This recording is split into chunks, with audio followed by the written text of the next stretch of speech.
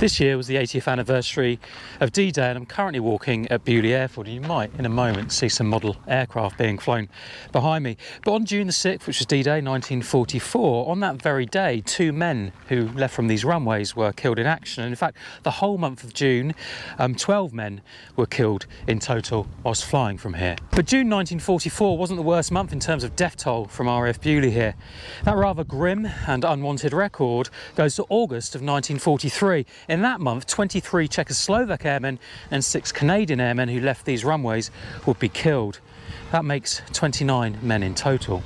I've covered some of those incidents before, but what I wanted to do this week was honour those men who died in August because I'm filming this in August, 81 years after those 29 men lost their lives. So I decided to meet up with my good friend Richard Reeves and we walked to one of those crash sites and we put down a wooden memorial cross in their memory and also just wanted to tell their story a little bit.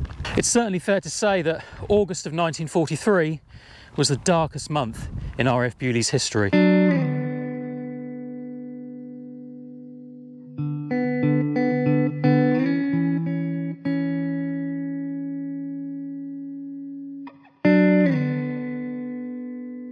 Okay, so we can start to see trees that are like bent and a bit dead.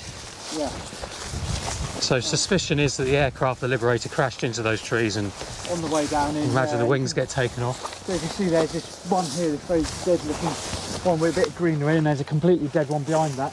There used to be more, but they've since fallen down. Yeah, So um, yeah, we just got to follow that direction and uh, so follow the dead trees Yeah, and the bent, de- bent debris. It's mad that it's like that 80, 81 years later, isn't it? Yeah, and there's there's eight men on board, they all got killed immediately in the crash, don't they? yeah. I mean, so yeah. So what you've got, basically we're coming up, a slight slope here. We're on the upper side of the valley, Yep. and the aircraft is coming up on the north-south runway. And uh, as it as it um, was running down the runway, it actually got airborne with insufficient flight speed. Some aircraft could deal with that, um, but not Liberator so so well. And so it gets a bit airborne, but then struggles to clear the bomb dumps coming over the over the trees. Um, and then fails to maintain its altitude. It just, you know, they've just lifted what flight speed they had to clear the trees, and then the aircraft is basically on a very slow stall and it's basically sinking back down. Of course, it's coming into the valley, so it's sort of fairly safe on this side, but as it crosses the valley, of course, then it's still going down. Um, and the valley is rising on the other side, and basically it just flew in at a very low level, and um, yeah, came in through the trees, which is why you've got this dead oak tree here, another dead oak tree behind. There's actually a few more that have fallen down. Wow. And um, yeah, look? let's go up there and that's Okay, take us straight to the front. And there's one of those trees there right on us. Yeah, absolutely. Another a sort of beat up one there, but that might be a more recent one. That that's a beech, but that one's certainly. Okay. See this tree here survived, but it's very mangled and slightly bent over. Yeah, yeah, yeah.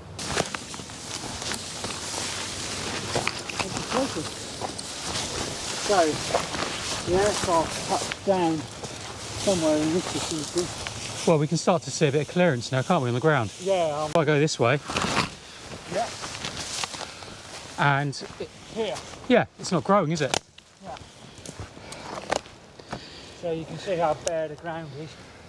So the burnt aluminium's poisoned the soil, therefore we don't grow. Yeah.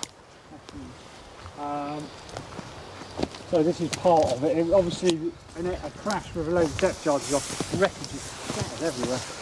Interestingly, there's a tree up there. I wonder if there'll be anything in the roots. Might be worth looking at. Ah, and there we go. So big chunks. You see how big the fire was because this aluminium is just completely melted down. It's sort of worked into the into the actual soil and yeah. Crikey. So we spent 20 minutes having a little bit of a look around, um, and there are very tiny bits of surface debris still here.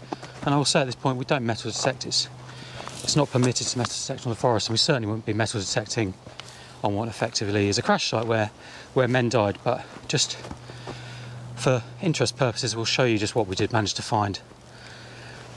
Bits like this. 81 years later, and that's the type of aircraft they would have been flying when they came down here. So what we've also done, we've brought a, a small cross with the names of the airmen on and a, a, a bouquet flower from the Free Czechoslovak um, Air Force Associates. Um, we're going to put this down, take a few photos so we can send it to uh, those organisations who might be interested in it. Um, we won't leave the plastic bouquet here, obviously, because it's not very biodegradable. August, as far as I can tell, was the worst month for aircraft Yeah, yeah. leaving Beaulieu. Yeah, well, it's, it's not so much for aircraft, for the, for the actual people, Well- because obviously, you know, they were losing a lot more aircraft, but one aircraft of a Liberator, that's eight people. Well, exactly. So So 13th of August, there's that Sway accident, and that involves that. Is it the Wellington with the six Canadians on?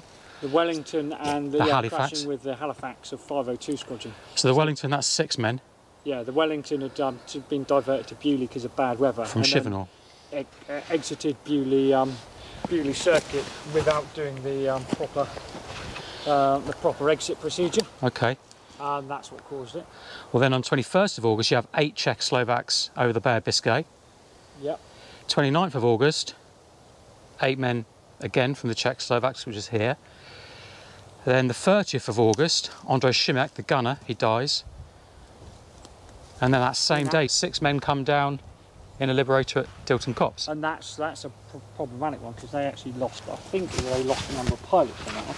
I'm not sure exactly, but they, they, that was a training flight. They were doing corkscrew manoeuvres, which is what you do to evade um, evade things like Ju-88s when you're being attacked in submarine manoeuvres with a big aircraft. Bloody hell. Gives you what by doing that, it gives you allows you to get more guns on target. So we've just put the uh, wooden cross and the bouquet down, and Richard was just making a comment about the flight of the aircraft as it came into this wooded area. Yeah, so you can see a couple of the damaged trees um, there, the ones that have been basically either damaged or killed, and then you've got the one, the large oak tree here, which was just glanced. He's had some of it, some damage taken, but never actually went down. Yeah.